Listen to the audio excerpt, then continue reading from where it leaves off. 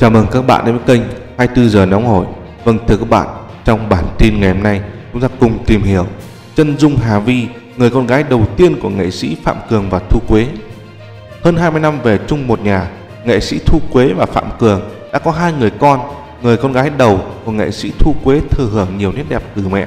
Cặp vợ chồng diễn viên Phạm Cường và Thu Quế không chỉ thành công trong sự nghiệp mà còn khiến nhiều người ngưỡng mộ khi có một gia đình hạnh phúc.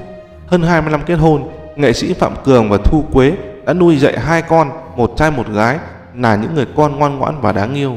Con gái đầu của nghệ sĩ Thu Quế tên là Hà Vi. Được biết, Hà Vi đang theo học ngôn ngữ Anh, chuyên ngành tiếng Anh pháp lý tại trường Đại học Luật Hà Nội. Không chỉ sở hữu gương mặt xinh xắn mà Hà Vi còn có gu thời trang vô cùng trẻ trung và cá tính.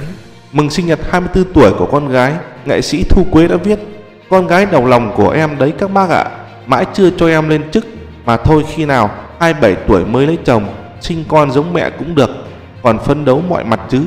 Trên trang cá nhân, Hà Vi cũng thường xuyên đăng ảnh cùng gia đình chứa đầy tình cảm với bố mẹ và em trai.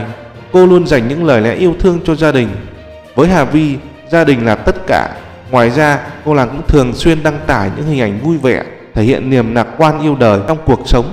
Hà Vi còn là một cô gái rất chăm chỉ luyện tập thể dục thể thao để giữ dáng. Cô còn biết chơi đàn piano để giảm stress những lúc mệt mỏi.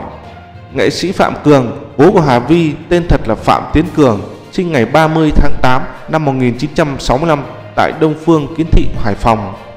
Ông là một nam diễn viên Việt Nam nổi tiếng trong thập niên 90 và đầu thập niên 2000.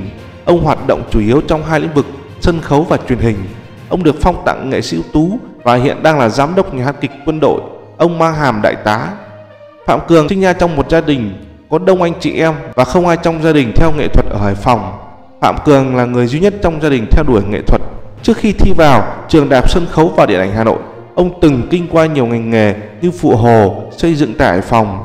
Phạm Cường gây ấn tượng với các vai diễn đàn ông lịch thiệp, có phần cứng nhắc, khô khan. Trong bộ phim Khoan lời yêu thương năm 2009, ông đã vào vai một người gia trưởng. Vai diễn mang về cho ông giải thưởng cánh diều vàng cho nam diễn viên phim truyền hình năm 2010. Phạm Cường kết hôn với diễn viên Thu Quế là một người Hà Nội. Ông và gia đình đang định cư tại Hà Nội. Nghệ sĩ Thu Quế, vợ của nghệ sĩ Phạm Cường và là mẹ của Hà Vi, sinh năm 1969, là một gương mặt quen thuộc của màn ảnh nhỏ Việt Nam. Chị đã tham gia nhiều vào các vai chính trong các bộ phim truyện nhựa. Với khuôn mặt mộc mạc, giản dị nhưng vẫn to lên được vẻ xinh đẹp của con gái Hà Thành. Với lối diễn xuất riêng, lại được trưởng thành trong môi trường quân đội từ rất sớm. Đến nay Thu Quế đã trở thành một nữ nghệ sĩ tài năng mang hàm thượng tá trong quân đội.